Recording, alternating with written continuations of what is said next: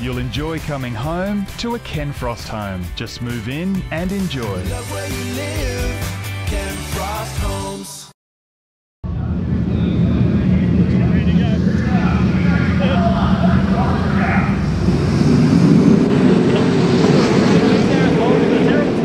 Shuffle back to fourth. Nearly makes contact with Davis. Davis still goes straight up into three. The great stuff. Davis, they call him the kid. Currently living in Mareeba, flying back and forward. Thanks to one of his sponsors his flight. But Jared Desmarais will lead him as they go. Lap number one here. Heat race one. Sprint cars. And speed. Up at 13.696, checking out the fifth. Nearly half a second that time round. It's Nick Brady Davis, he'll go. Take over a lap. He's got another mechanic.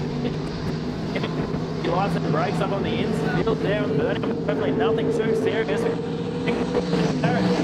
Desmarais, looking for that JFE,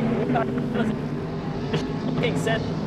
Push up to second now. Big move up the inside there. at Dan Mose, awesome heads up driving there at Mose. Stay out of the Brody Davis, the kid. Now he hands up into second here in the NQ51 as Mosey gets all kinds of side.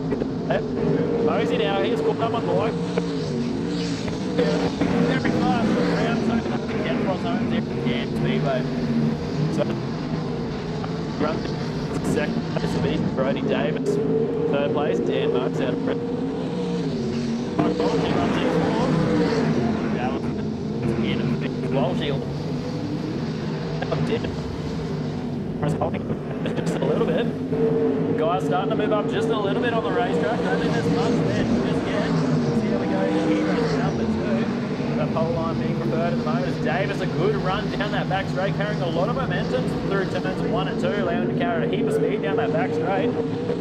That up here, coming into the. Goes around the other, see if he can slip up the.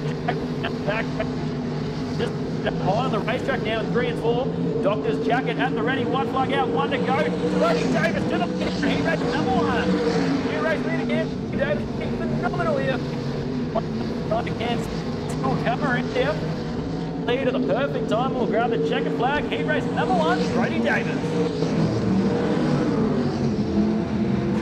Fantastic racing here. Number one is sprint car. We'll go to the NQ51. Second.